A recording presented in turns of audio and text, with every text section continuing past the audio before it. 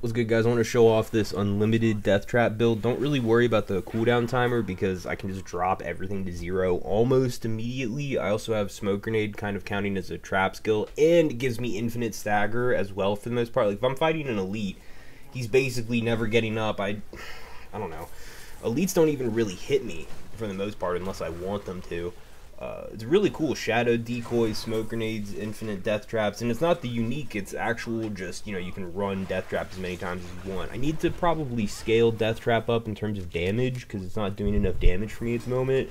Uh, now this is all under the assumption that I'm gonna run uh, death trap till level 100. I don't know if I'm gonna run anything till level 100. We have armored core coming out in a few hours, and I really want to get in on that and see what's going on. I really uh I've always been into third person shooters, and this is going to be kind of my game.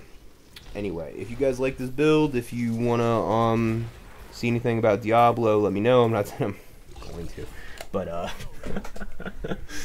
uh, Diablo 4 is a weird game. I really, you know, if they just made it like Path of Exile and um, what's it called, Lost Ark, man, I've always wanted to play Lost Ark, but I can't, you know you need the craziest rig of craziest rigs to play that game. It's just it's crazy. And here we have this game that all of a sudden has all this potential, and then Blizzard drops the ball, like every other developer. Enough of my ranting. Until next time, guys. Let me know. We've got Armored Core on deck.